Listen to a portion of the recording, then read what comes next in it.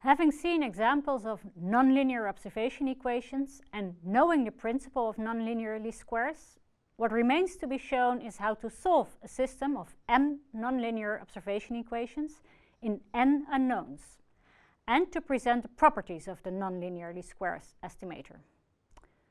So we are looking at a problem where the m observations have a nonlinear relation with the unknown parameters in x.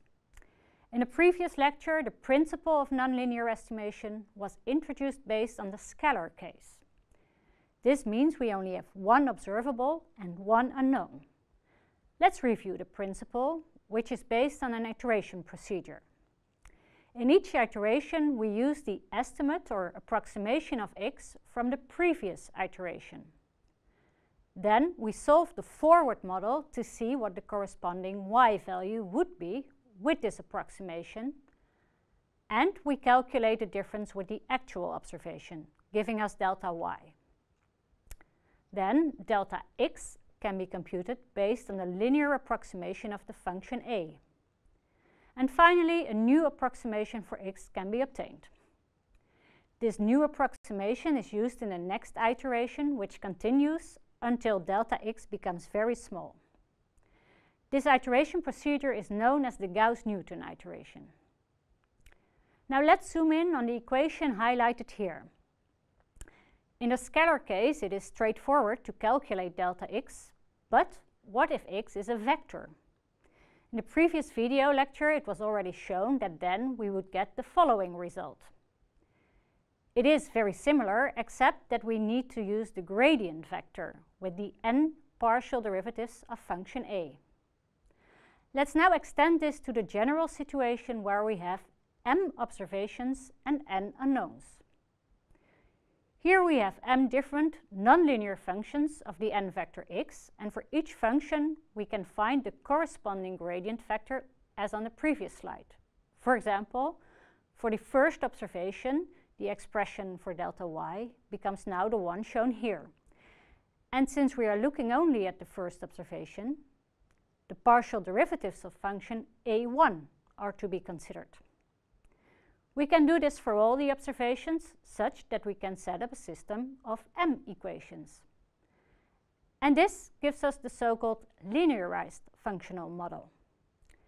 The matrix on the right-hand side of this equation may look impressive, but if you take a closer look, you can see that, for instance, the first row contains the n partial derivatives of function a1.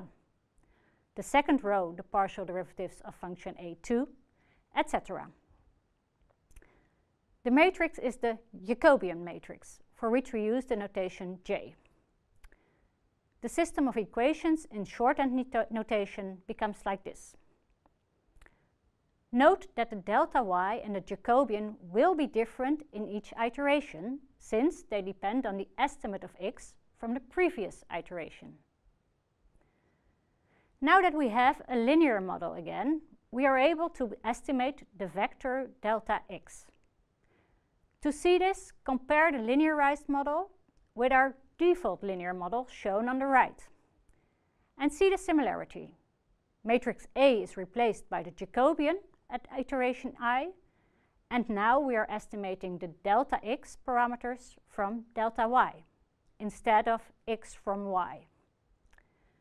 The dispersion is the same in both cases. For the default linear model, the best linear unbiased estimator was shown to be the optimal estimator of x.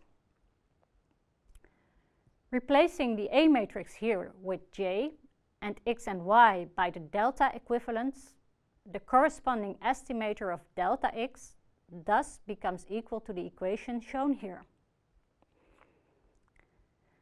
Since we are now estimating the delta x using blue, we also use the notation with the hat. Having estimated delta x allows to calculate a new estimate of the unknown parameters x for this specific iteration.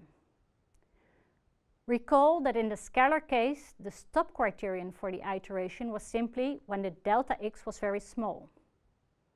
Since x is now a vector, this should be changed to, for example, the requirement that the length or norm of the delta x vector is very small. However, since we may have different types of quantities in x, it may be even better to use different weights for the components in x, and as such look at the weighted squared norm. With this, we have all the tools for non-linear least squares estimation, but there are still a few remarks to be made. Firstly, related to the initialization. Unfortunately, there is not a default way to get an initial guess for x at the start of the iteration procedure. How to make a good guess depends on the problem at hand. For example, if x is the position of a point, you may use a map or a sketch to get an initial guess. At the same time, a bad initial guess may have as a result that the solution does not converge. In other words, the delta x does not become smaller and smaller while iterating. Conversely, if you have a good initial guess, the solution may converge in only a few iterations. In summary, we can say that a proper initialization is important and requires insight into the estimation problem at hand. And this brings me to the final part of this lecture on nonlinear least squares, where we will look at some important properties of the nonlinear least squares estimator. Remember that the estimation is based on a linear approximation of the nonlinear functions in our model. This unfortunately implies that the nonlinear least squares estimator is not a best linear unbiased estimator even though we do apply blue to the linearized model. This also means that the estimator does not have the normal distribution. In practice, though, these important properties can still be assumed to be valued, valid if the higher order terms in the Taylor approximation are close to zero. In other words, when the linear approximation is a very good approximation in the vicinity of x.